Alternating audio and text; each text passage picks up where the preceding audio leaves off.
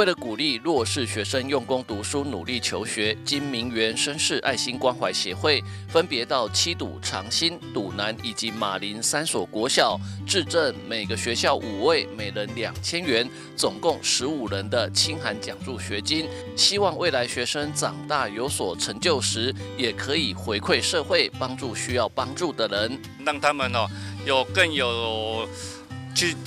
去争取自己的一些成绩哦，那以后长大来回馈社会，这样子，我们的用意是这样子，希望大家哦，大家互相有爱心的人一起来参加这个活动哦。啊，最主要是说能够鼓励这些啊绩优的同学们能够继续努力向上之外，也期待以后将来长大以后有能力的话，同样有这个爱心能够继续回馈给社会。协会的爱心也让三所国小校长代表小朋友们由衷感谢。那尤其是马林这种比较属于非三非四的学校。那有一些呃，我们这里的就是比较属于 M 型社会，那有些小孩子真的是需要帮忙哈。那谢谢议员的一个协助，然后还有名媛跟绅士协会，然后他们对于孩子的一个关怀哈。那相信这些孩子给他们，我刚刚也给他们一些机会教育哈，就希望他们能够在自己的家庭能够发挥，帮助家庭，帮助弟弟妹妹，然后让他们的家庭更安心。